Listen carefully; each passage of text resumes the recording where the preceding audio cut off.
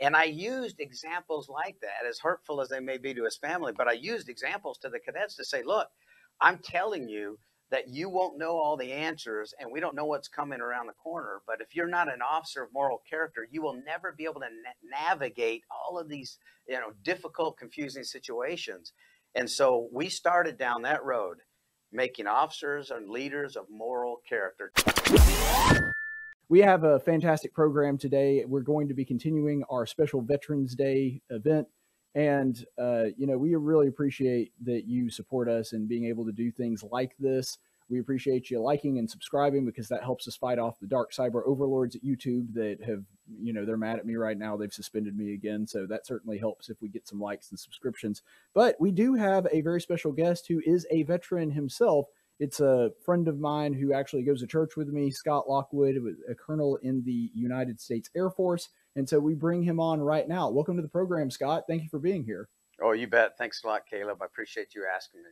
Oh yeah, well it was a slam dunk. In fact, uh, he was actually speaking at Faulkner's Chapel this morning, and I realized that I didn't, you know, I I had dropped the ball and not gotten a guest for Veterans Day, and I was like, I don't know why I didn't ask Scott like a week ago. Like, but he was very generous with his time, willing to come on at, at short notice. So thank you for being here. I appreciate it. You bet. That's a good sign that, uh, of course, that I have no real job and that nothing's happening in my life. So I was at your beck and call. well uh, however you wound up here, we're appreciative of it. I think okay. the Lord helps us out with that. Uh, but you know, I know a little bit about your personal history, but I'm sure that I'm going to learn something here too. So, uh, just before we start and and really get into the meat and potatoes, what we want to talk about here on Veterans Day, if you would give the audience just kind of a background and a, a summary of your military career.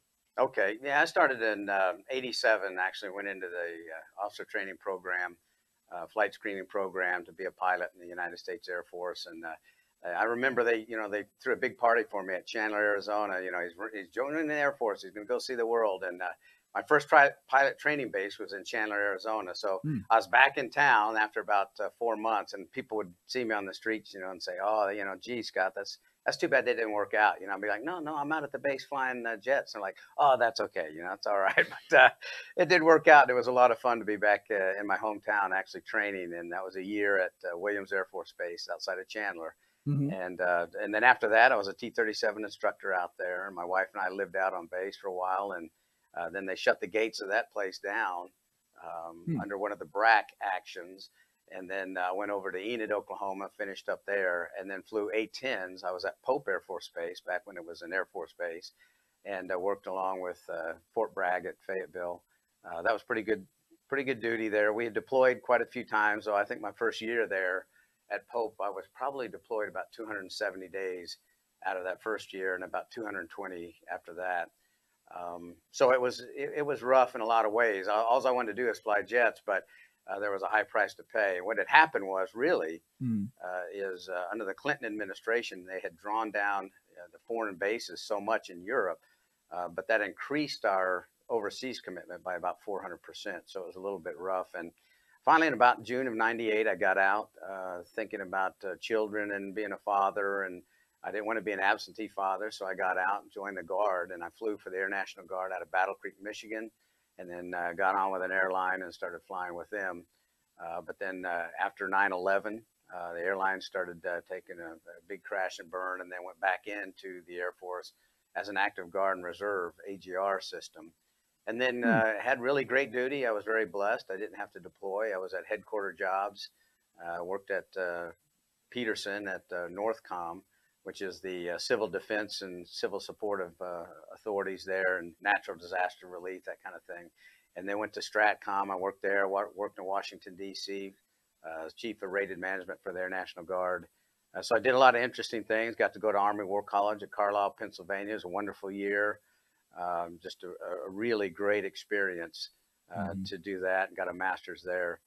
Uh, then I came back and then was the commandant of officer training school at Maxwell Air Force Base for three years. That was from 2013 to uh, the summer of 2016. And then I retired in 2016 and went back to the airlines. So that's really kind of it in a nutshell. It's 28 years total duty, 23 years active duty. You know, that's incredible. And one thing that I do love about talking to military people is when I ask them about their career and their story, it's never boring. That's the one thing. That's Like, right. It's, it's always lots of moving, lots of Uh, yeah. going on different assignments. So I think it was 14 different addresses is what uh, Kelly and I we, we counted it up one time. So those were 14 different addresses, and that was uh, yeah, that was a lot of moving. yeah, I was talking to uh, your wife this morning right after you spoke, and uh, she was actually talking about that with uh, President Williams, of course, at Faulkner, who's talking about moving, and she was saying. Yeah, that's the way it was with me and Scott. We I just get home one day and he'd be like, "Well, we're moving to this place you've never heard of," and it's like, That's right. You would think we'd have been smart and kept our household goods very small, but I remember by the time uh, towards the last uh, the end moves there, I think we were filling up an entire semi tractor trailer full uh, with our goods, and I've got three daughters and all of their stuff, and so we were, yeah, we were definitely costing the military at that point. Yeah, I'm, sure you, that you were, but uh, uh, it's you, you know, it's just something that comes with the territory is that you do a lot of moving, and we're very grateful that because we have Maxwell here, that it somehow brought you here to us, and uh, you've been a, a great addition to our church and somebody that uh, really look up to. So I appreciate you know the fact that the military brought you here. Well, thank you, Caleb. I appreciate that. So I wanted to talk to you about that. Is somebody like you that has a, a very long military career? I mean, you're you're a career military guy. Um, what kind of changes did you see over the years? I mean, like what was different from the time you started in the Air Force and, and by the time that you got out? What were the biggest changes you noticed? Well, that was that's a great question. Um, you know, the, the the the United States Air Force for a long time prided itself in training like you fight, and uh, somewhere along the way, we we kind of started losing our way, I believe, because what happened was uh, we ended up in a situation where sensitivities of uh, you know, kind of the social construct started rearing its head, and uh, and so then we had to become more and more sensitive to everybody else's sensitivities, and Mm. so um, you know, when, back when I when I first got in, you know, they they would yell at you, and you would go through, and then you would have to clean your room, and then whether it was clean or not, you know, somebody was going to find something, and then you'd be doing burpees, push-ups, and you know, running at five in the morning or whatever. Well, Yeah. all of that became abuse after the Lackland uh, sexual abuse scandal. Uh, they they kind of exploded that thing into some uh, you know monster that just enveloped a lot more than just sexual harassment, sexual abuse, and assault.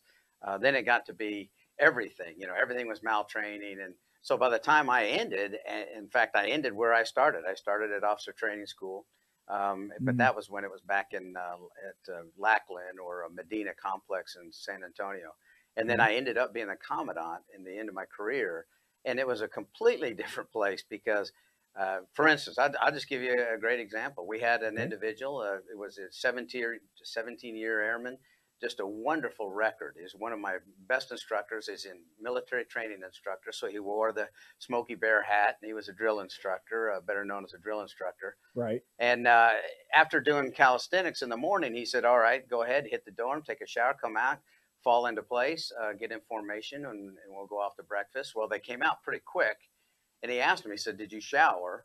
And apparently, the whole squadron said, "Well, yeah, we had," and and he knew they hadn't. And so he said, "Okay." He said, "Listen, uh, you've lied to me," and that was an honor violation, and he could have just proceeded to start kicking them out and doing the paperwork. It would have been ugly, but it's you know what they that's what they signed that they weren't going to lie, cheat, or steal. And so he said, "I tell you what," he says, uh, "I'll uh, I'll save you though." He goes, "You'll just answer to me." So he took them out and he started running them. And then when they said, you know, hey, we got blisters, he's like, okay, fall out, step over here, everybody take a breath, take a water. They started drinking water, rested up. All right, hit the track again. They started running. Uh, then they came back in. Somebody's knee was hurting. Okay, step aside. I don't want you to hurt your knee. Get some water. Everybody rest up. All right, start running again. Well, anyway, that went on through breakfast. So they missed breakfast. Uh huh. Well, because they missed breakfast, that was called maltraining. That individual received an Article 15 from my boss, a general officer, and uh, it ruined his career. And he had to leave the Air Force um, uh, under less than uh, you know stellar conditions. And what a crying shame that uh, we ended up in a situation because I used to I used to look at these cadets and think, what movie on the military haven't you seen? You do understand what we're about. Like they would show up and they could do three push-ups, and then we would try to send them home and they would start crying, and we would say, well, you know, uh, wait, you have to do at least 20 or whatever their category was.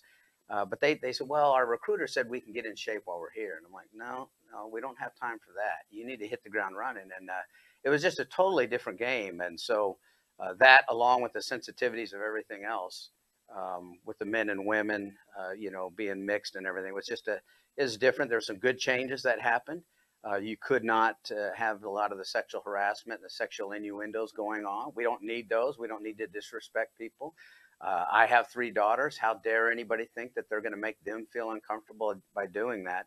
Uh, but also, we cast the net a lot wider than that, and so it got to a point where we could hardly really do anything without people complaining. And I remember an MTI getting in trouble because he he said something like, "Well, what's the matter with you?" to the, one of the recruits, and they said, Mhm. "Well, that made me feel dumb." So, you know, we had to we had to nip all that in the bud, and so now. Uh, here we are, you know, worried about uh, the the gender of individuals and all of that, and how they, you know, commanders are having to offer whether they, you know, can have a sex change or whatever. Uh, while the Russians and the Chinese are, are out there and they're still firing weapons and crawling through the mud. So uh, uh, that's that's a lot of the changes that I saw, and that's the biggest ones that I think stand out on my mind was that Mm. uh, after a while you just kind of wondered what you know where is this thing going to end up, and it wasn't going to be good. So Yeah, I, I do see a pretty st- a stark contrast in the Chinese military who just released a video or recruitment video of them breaking uh, concrete blocks with sledgehammers over their abs, and our newest PSA video where it's a military person talking about her lesbian moms. I mean, there, there's a pretty stark contrast there. Uh, that's that's for sure. Right, and if you know it, it, the the thing that's really going to hurt us very quickly, and that's already hurt us, and I think you could see that even in Afghanistan uh, withdrawal, but that is that uh, when you start uh, discriminating on the basis of race and gender to be able to put people in certain positions, uh, then you can really lose sight of who is uh, best for the job. And, and and we have got a, a horde of great, great individuals that are retiring right now Mhm. that probably, if you looked at their track record from the very beginning, from from about the time you're a captain, they start selecting you and pulling you out, and then you realize you're on a track to go to senior leadership. It's very early on, and these individuals had hit all the bases, done all the right things, uh, but they came up on 06, 07, 08 boards, and uh, then they started falling out, and others were promoted in front of them because of who they were. And, uh, and that is going to really, really hurt uh, the effort in the long run. And all we were worried about, obviously, is how it looked. Well, we want this, you know, this regime to look this way. We want the demographics to reflect this, and uh, rather than saying, okay, who do you need to to lead troops and make these decisions? And so that's really going to be something that comes back to haunt us, I believe. Well, you know, Scott, I'm a big believer in transparency and being able to see what's going on. I mean, one of the reasons that our military, kind of like you were pointing out in your talk today, is seen as a liberating force, not an oppressive force, at least in the minds of, of most Americans. Uh, the reason that, that we do, you know, have a special place in our heart for the military and the reason we have a day to celebrate them is because we have always sort of seen them as that um, you know that that liberating force that is is someone that defends our liberty as opposed to one that takes advantage of it and i think one thing that we uh one of the parts of that or i guess the rationale behind that is because we we believe in their mission and so i say all that to to bring this up I do understand that there is a level of accountability that we want in the military to the citizenry, but I also think we can't have every single member of the military constantly worried about how every little thing looks to the public. And I think that that's actually been something that's been devastating to um, the military. I say that as an outsider, of course, though. No, and I think I agree with you there, and I think that I, I understand that there are, uh, you know, that that when when when we are too worried about what's happening, uh, and we have congressmen that uh, and women that are just unwilling to stand up and do the right thing, and uh, they're cowing to their constituency, as radical as they may be, um, when they when they you know they're not too interested in the facts. I, I, know that personally, Mhm. uh, I answered so many congressionals and so many complaints that people, you know, well, this was my dream and I was treated unfairly and and you know you would think somewhere that they could have somebody could have stopped it, but they had to send that down and it got rubber stamped at a you know second Air Force level. Then they got sent back down and uh, you know went through the uh, Air University and then it came to officer training school and then we were running around trying to answer why we were kicking out some kid that had lied, cheated, and steal and, and couldn't couldn't run a mile. You know, Yeah. uh, but uh, we were always answering because uh, you know the politicians being who they were, they were so easy to uh, to cow to everybody rather than just go, hey, look, I think they've got this, and uh, and yeah, that's been I think that is a problem. just like you said, you know, you start answering to too many that don't understand the inside, uh, then that could be detrimental as well. It's a good point. Well, I tell you this, and I when I ask this question, Scott, I want you to say to me, this is what I want you to say. Caleb, you're crazy. That's all in your imagination. Uh, it's not really like that. I genuinely am concerned that what you're talking, the wave of people retiring and, and being taken out, it's not just uh, about race and demographics. Based on what happened uh, with, uh, you know, the the what was it like a, across the board, all branches of the military, the stand down order after January 6th, and looking into people's background and trying to figure out is this person a Trump supporter? Because if they right. are, I mean, like the the skepticism that came after that. Um, I, have never seen anything like that. I think that they may they might actually be trying to purge the military and make them ideologically in one. Uh, like they're they're trying to get rid of all the people that might not think the way that the people in charge do now, and that scares me. Am, is is that a valid concern? Because again, I want you to say no, Caleb. They're not doing that. You're you're overblowing it. But but honestly, what is your take on that? Yeah, Caleb, you're crazy, and you're no you you know you're, you're crazy anyway. But well, that's uh, true. But the, un- the, unfortunate part, Caleb, is that's absolutely what's happening. And uh, if you look at history, if anyone is not afraid of taking the military and purging out a conservative political view or somebody that disagrees with the wokeness that's happening, if that doesn't frighten you, because remember, a coup will never happen and you can never have an overthrow, and you can never turn around and oppress your own people without what? The, without the you have help to have of the, the military. military. You have right. to have the military. You have to have the military. Well, what they're doing is they're purging out individuals now that stand for freedom and liberty, and that's the discussion that's off the table in politics now. It's about uh, wokeness and social engineering it's all about uh, some kind of justice that's, you know, a justice that the left gets to define, like, uh, you know, environmental justice, whatever that is. But uh, if it's if that's what's happening, and you end up with a, a force that's going to do the bidding of a radical leftist, well, then what difference is it going to be whether it's a Che Guevara in charge or anybody else? Because that's that's what you're going to end up with, and I think that's what they're aiming for. Uh, that's what's happened, obviously, with the FBI. They're making mm-hmm. raids on, you know, conservative reporters' houses and things that they wouldn't have done at all, you know, some years back. And you're thinking, wow, uh, you know, we always ask ourselves, how can a postmodernist industrialized nation like Germany end up in the situation that they were in mm-hmm. and doing that kind of thing with the Gestapo? And uh, and I think you're watching it happen. I think you're watching uh, the you know the freedom, uh, you know, kind of the last gasping breath of it uh, in America as we're so concerned with supposedly other things and you know the weaponized racism and the you know all the ethnic discussions that are going on, xenophobia, and everybody's a phobic about this, that, or the other that the left stands for. And mm-hmm. if you're against them, you know, you've got some kind of deranged thing. So, yeah, I think you're you're absolutely right. I think the fear is real, and um, and you I know what? That's what's happening. What's really sad about that is the military was, you know, I'm not saying that there were never problems with that in the past, because obviously there were. They're well documented through history. But one of the great things that I loved about the military, despite having never served myself, is it's it's a uniting thing. I mean, you talk about the everybody being concerned about the racism and xenophobia. When you put on that that uniform, that goes away, and that's the way it should be. Like you don't care whether they're black or uh, Hispanic or whatever Arab.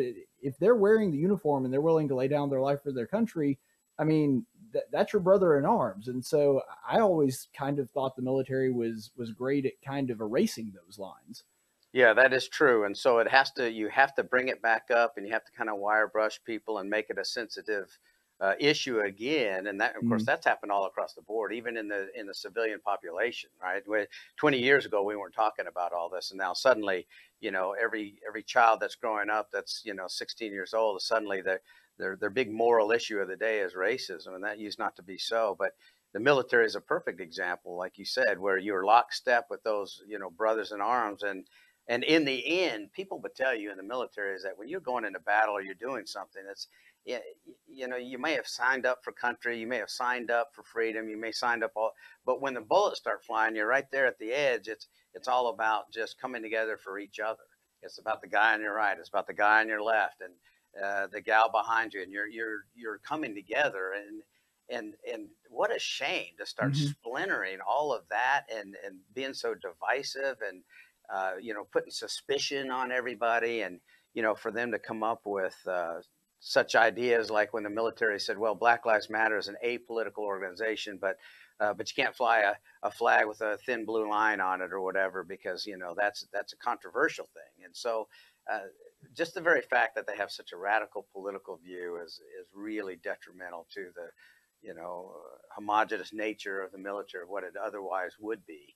Uh, so they've, they've, you know, they've, they've tried to do everything, right? They've tried to, they Right. tried to put pick people's picture in there, then they took the pictures away. Then they tried to mask their identity and their gender and their race, and then that didn't work, and they, they didn't have the right people promoted. So now they want to put points, different points on different systems, and it's just they're so concerned with all this uh, rather than just you know getting on with the business at hand, which is I remember I remember years ago, Caleb. This has hmm been a long time ago, but hmm years ago at Squadron Officer School, that's now Squadron Officer College, but at Squadron Officer School, we had an individual walked in, stepped up there in, in Montgomery, Alabama, stepped up on the stage, and he goes, "You know what?" He goes, uh, "I don't care about segregation or desegregation." He goes, "You know why we desegregated? Because we fight better that way. Because morale is better." and we fight better as a nation that way. He says, otherwise, I could care less whether we desegregate, segregate, whatever. He says, in other words, he goes, I'm not trying to be insensitive, but he says, I'm telling you, the military is out there to kill people and break things. It's out there to hmm do violence. And he says, you know, that should be what everything is thought of is like, how efficient can you do to being, uh, you know, being that uh, that blocking force or that guarding force, the attacking force and now we're so just all concerned about everything else but uh, and how is it not going to suffer? How is the tip of the spear not going to suffer when we're so worried about what the you know every little piece of wood that the shaft is made up of? And so uh, i think your fear is just just really relevant and that, and that is sad to say. Well, and, and I don't remember, granted, uh, like I said, being somebody that's looking at on the outside looking in, uh, I don't remember a whole lot of war movies where guys are like down in the trenches and like before they go out and, and have the guy behind them cover them, like, by the way, what do you think the top tax bracket should be? Like, that's not, not, not really a concern right right then. right Not saying they don't talk about it in their off time, but you're yeah right. I mean that, and that's the thing. It, it does bring people together of different. Yeah I, you know, I have a buddy that was um, uh, army, and uh, was the best man at his gay brother's wedding. I disagree with him on virtually everything, but you know, if he was a good soldier, so what? I don't care that his politics are different. Um, but you know, I, I did want to just kind of circle back to uh, borrow Jen Psaki's line. Um, I I did want to uh, just circle back to something that you said with uh, Afghanistan, which you kind of briefly touched on. Um, what what could we have? Because I I mean the the last stand on that was really an airfield, and so your Air Force.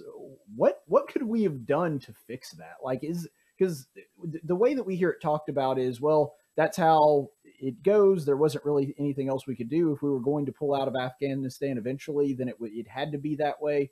Um, first of all, is that correct? And if not, what could we have done to make it you know not as, as much of a disaster as it was? Well, the first thing we should have done is kept politics out of it. We should have kept the president from uh, running around saying, "Well, this is the date we're going to be out," because the Taliban told us to be out on that date. We should have got out uh, on our own good time, which meant we'll get out when we're good and ready, when things are set up, when we've gotten all the non-combatants out and everybody that's vulnerable, and honor all of our vulnerabilities are covered. And why would it have to be one last airfield that you're holding as you're running out while everybody's surrounding the fence there and busting down the gates? It's uh, there are there are a lot of ways to extricate yourself, uh, you know, from a battle. It probably wouldn't have been good and easy, but you know, it's uh, it's different than if if uh, you know if I want to step out of the ring, you know, the octagon. Uh, if I give you a good licking first, and you're over there in the corner licking your wounds, and then I climb out, that's different than you beating up on me as I'm trying to get out of the octagon. And that's the easiest way I could say it. I mean, Mm. we had them on the ropes in so many ways, different ways and uh, shapes and forms. So if you keep them in a situation where uh, we still have the upper hand and we still had the aggressive force there, uh, then we call the shots, and then we're able to do uh, the things on the timing and the place of our choosing, which is really what war is all about. Right. We- you get to leave on your own terms. You get to leave on your own terms. You get to tack on your own terms. You get to stay if you want it on your own terms or whatever. But everything is at a place and a time of our choosing. And that is strategy of war. We gave up all of that when we started announcing dates and places. And we're, you know, I mean, it looks like. Right. we- It wasn't the premiere of a movie.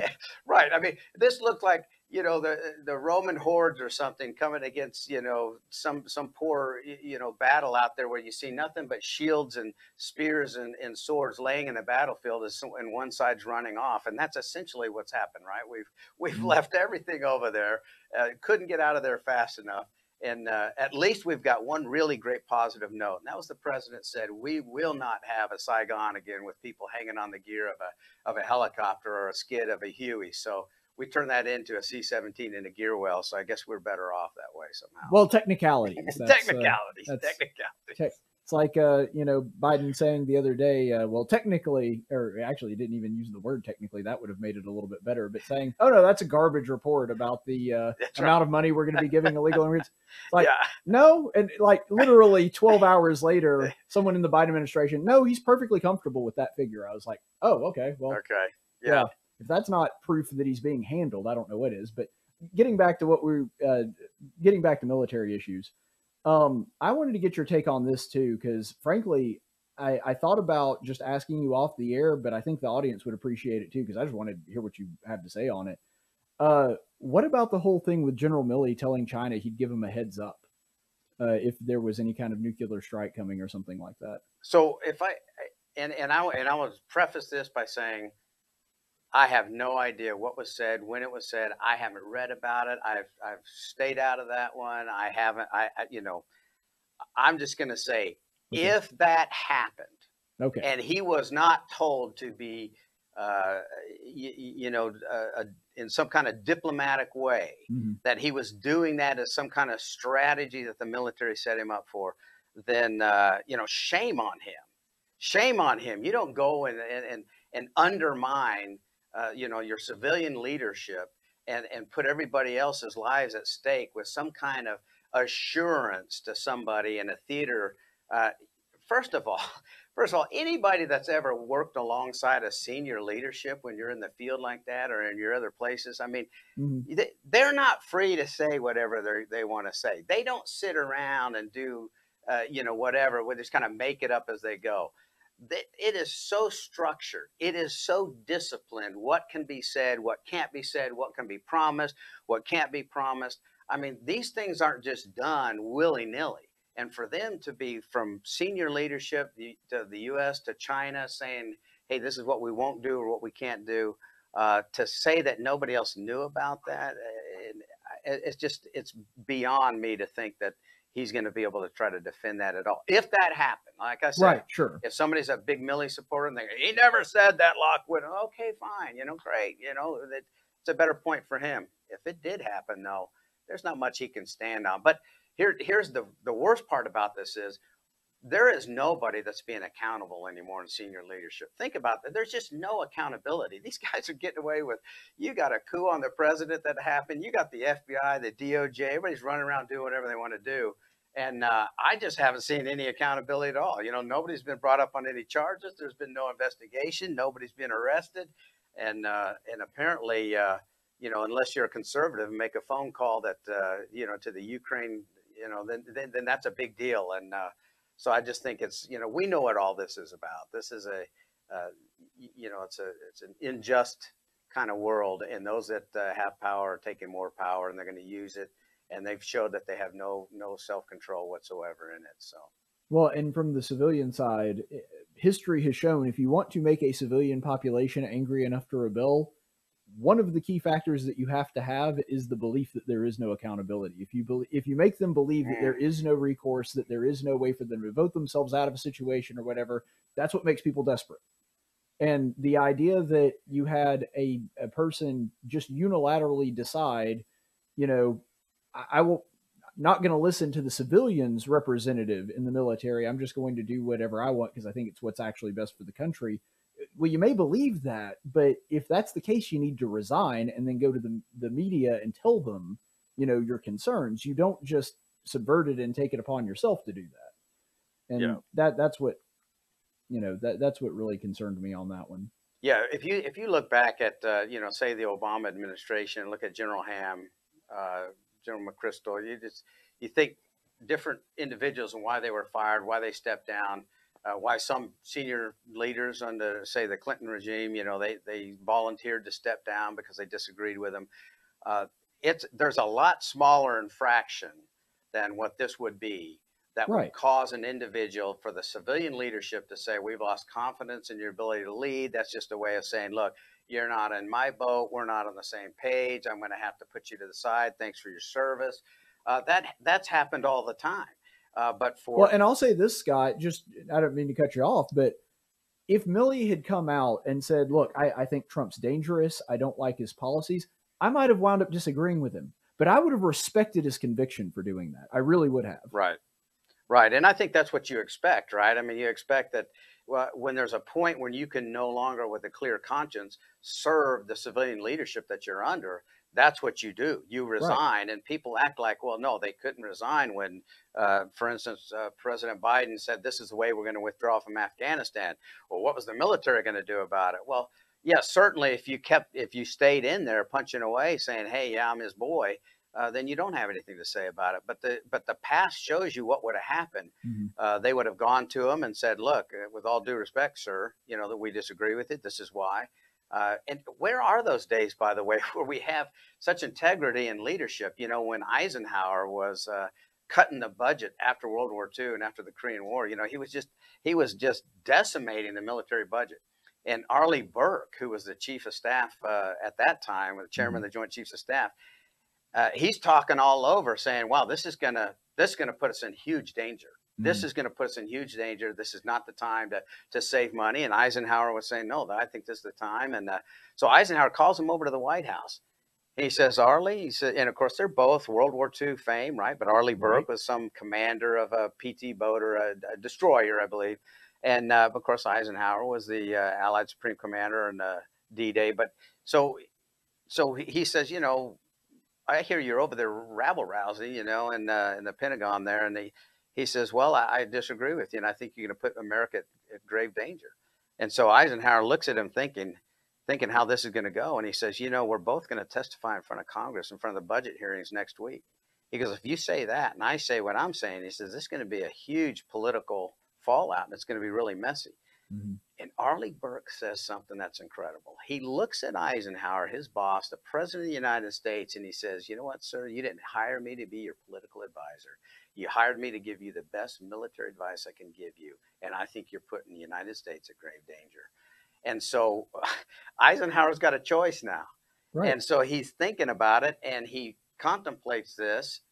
And for here's this great leader and shows incredible moral character. And he goes, You don't, he goes, You know what, Arleigh? He says, uh, I agree with you. And he says, uh, He says, You're right. And he goes, I tell you what, I'll go and I'll say what I have to say. And you go and you testify and you say what you have to say. And I'll deal with the political fallout. And the aftermath of this is after that, Eisenhower called Arleigh Burke to the White House Mhm. many times, and most of the time was not even discussing military affairs. He asked him about State Department. He asked him about the uh, Interior. He asked him about uh, other things that were happening with the economics, the budget, taxation. And, and I always used to ask the commandant, you know, the uh, cadets, why do you think that happened? And why was he asking Arleigh Burke about all these things? And it's because he found an individual that would shoot straight and tell him the truth and wasn't trying to cow to him, wasn't just a yes man. And so he respected that so much. And yet today, uh, we saw the firings, like for instance, under President Obama, he was firing people right and left.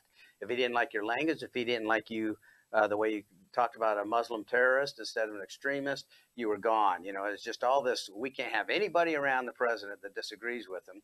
Um, and then on the other hand, you can see the detriment of what happens when you uh, when you when you don't get people that are lockstep and pro-American, like uh, I think Trump kind of misunderstood and mis you know uh, really underestimated uh, what was going to happen there with individuals that were just out to get him and do everything they could. But uh, I just I love that story about Arleigh Burke and Eisenhower about what that's like to be accountable, to be have some moral character, and to be able to say, you know what, you should be able to stand up and disagree, and then uh, we'll see what kind of leaders uh, you know you have. But in the end, of course, uh, if he told Arleigh Burke uh, which way to salute, which way to march, he would have had to have done it. Or if he didn't agree, he would have had to step in. You know, I, aside. I think that's just a fantastic segue to ask you this, and and this will be really kind of the the question that we wrap on because I think it's a good stopping point.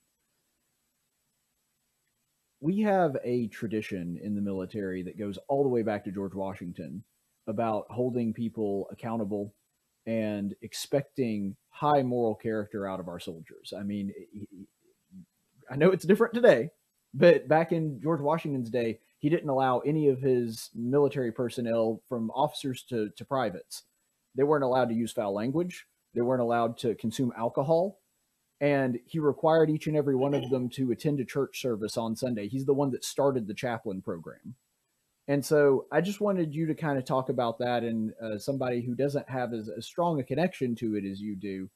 Um, what what has happened to that that sort of sense in the military that we're supposed to be people of a, of a high moral caliber serving this country?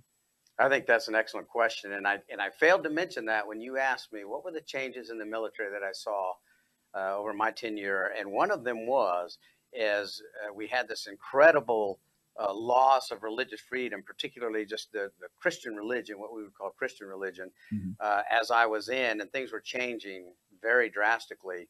Uh, and that had to be addressed by Congress, which it shouldn't have had to been. But a lot of people don't know this, but the Uniform Code of Military Justice gives the responsibility to the commander for the moral turpitude of the individuals under his command. And uh, some years back when at officer training school, uh, they had some mission statement that said, well, we were going to be culturally aware, we are going to be expeditionary minded, uh, we're going to be, you know, professional, this, that, and the other. And I came in there on my first or second day. I started reviewing all the documents, and I read that, and I said, "Well, but what's the most important thing that we're doing here? I mean, I, this sounds like a political statement that you know what a politician would be happy with. But what is it that we're doing here in these in these just few months and weeks that we have these cadets?" And I kept saying that, and, and people just didn't. They, they they just had a hard time grasping it. And finally, we sat down, we started tossing some stuff around, and I said, "This is what we're doing. We're making officers a moral character." And so I changed the mission statement to say we are making leaders of moral character. And so then, as people started looking around, scratching their heads, going, "What? What's wrong with this guy?" Uh, we started had to define what is moral character. Why is that important? Why is it that we want leaders of moral character? And so I went through, and I mean, I named names. I talked about uh, Admiral uh, Giardina from uh, Stratcom. He was the vice commander of Stratcom when I was there. Uh, there was no love lost between us, by the way. But, but Admiral Giardina, he after I left, which he he he was a really really brilliant guy, a lot smarter than I was, but he he basically didn't know why I was there. And after a while, I had a hard time answering it myself. And I thought, you know what, he's right. I don't know why I'm here. I might as well leave. So I did. But shortly after that, Admiral Giardina got caught, and he was uh, handing off counterfeit or counterfeit poker chips across the river in a casino and what was happening, he was gambling all night long, had counterfeit poker chips, and then was coming back to work at Stratcom. And he put our nuclear surety uh, in jeopardy. And he was a guy that was the vice commander of strategic command with all of these weapons at his disposal and his responsibility.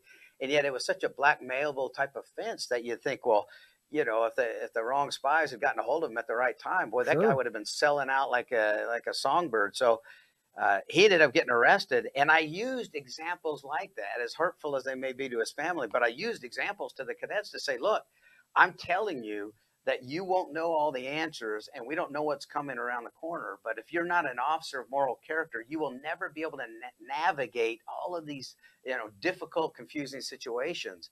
And so we started down that road making officers and leaders of moral character, defining what it is. And then this is what really, really hit us where we started getting in hot water was the JAGs wanted to say, well, if did they bust three tests, you can get them out. If they bust a PT test for the second time, you can kick them out. Uh, if they do this, if they lie, cheat, or steal, and they do this, that, or the other, you can kick them out. And I said, well, uh, this is what we're going to do. I'm going to ask each one of my instructors, and I'm going to say, You're an officer in the United States Air Force. I'm going to trust your judgment and I'm going to support you. But the question I'm going to ask is this person going to be a leader of moral character? And I said, If your answer is no, we're going to get rid of them. Well, the Jags and the lawyers just had a field day. They were just Oh, like, oh, you know, they were just, no, you can't do that. We can't. Whoa, you're gonna, you know, they were just starting. I'm like, you know what? First of all, thanks for your advice as a legal team. I'm a commander, you're not, and so I started uh, started down that road. And sometimes we were doing that. It didn't happen all the time, but we had a few individuals, uh, individuals that maybe were uh, you know on pornographic sites or something that everybody was like, well, you know what, talk to them, what counsel them, do this, that, the other, and go, hey, you know what? As far as I'm concerned, this guy's on his best behavior for nine and a half weeks. This is the best he's ever going to be. Guess what he's going to be as an officer in the United States Air Force and a leader of people? He's going to be a problem. So we would kick him out and say he's not a leader of moral character. And uh, and so that that's kind of that that. It's funny that you brought it up because it was a huge huge push of mine. Mhm. And uh, I don't know how long they probably put up with that after I left, but they probably changed it back to Well, you know diplomatic language or something. Well, I appreciate that, and uh, you know, just appreciate you and your service and your focus on, um, you know, having that high moral character because I think it's the most important thing that anyone can can experience. And one of the things that I think has attracted people to the military and, and to military leadership for a long time is because of its character building uh, qualities. And I, I just think that now we almost think that you can have character without having a spiritual center uh, or Oh, yeah. some something like that and it just can't it doesn't work No, it doesn't work no, absolutely not. What man thinks, uh, so is he, and and we know that to be true, Caleb. And when you you know, just like you could read a, a book about Nazi Germany, and, and they'll talk about all different reasons why it happened or whatever. Um, but I'm and I am very fond of pointing out that those doctors that were operating experimentally and doing experiments, and they were doing all that, they were Darwinist, and they Mhm. were talking about the superior race. They were talking about who uh, hadn't uh, evolved, uh, who didn't deserve to live. They were trying, talking about a supreme race. It was all Darwinism. And once you lose your mooring uh, and believing of the God of heaven and that He is the ultimate moral authority, mm-hmm. you can justify anything. And that's what history teaches us. You Yes. can justify anything. well scott uh, i tell people that i would have been in the concentration camps and they say well you- you're not you're not jewish you're not a gypsy i was like i know i'm white but here's the thing that you may not know there were several different labels inside the concentration camps they had different colored triangles that they would say and they had one that was purple and that was for bible scholars i'm a master's student in bible i would have been in the concentration camps and what that tells you is anybody that is well acquainted with God's word is a threat to tyranny Absolutely. because they answer to God and not to man. Absolutely. Because they cannot be controlled that way. You're exactly right. All right. Well, I appreciate you, brother. Thank you for coming down here. And uh, it is Veterans Day. Thank you for your service. I certainly appreciate it. I know my audience does too. Thank you, Caleb. I appreciate you. Thank you so much. All right, brother. Been been a pleasure to talk to you. To convince you to like this video and subscribe to my channel, I'm about to do some political impersonations. First up, Bernie Sanders. It is immoral that in this country, the top 1% of YouTubers get all the likes and subscriptions. John Kerry. Please remember to ring the notification bell. President Joe Biden. If you like the show, call the TV guide and tell them. You know, the thing. Kamala Harris. Batman would want you to like and subscribe.